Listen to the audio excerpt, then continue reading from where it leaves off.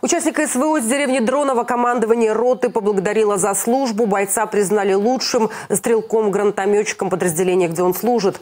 Благодарственное письмо передали жене военнослужащего. По словам командиров, сержант всегда поддерживает воинскую дисциплину, зарекомендовал себя как надежный боевой товарищ.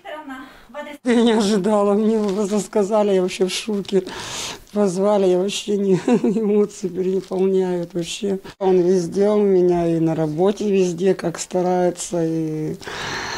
И там, как он рассказывает, говорит, иду, говорит, не боюсь ничего, говорит, стараюсь, говорит, поддерживаю всех. Дети гордятся, сын тем более гордится у меня последний. Так-то у нас трое их.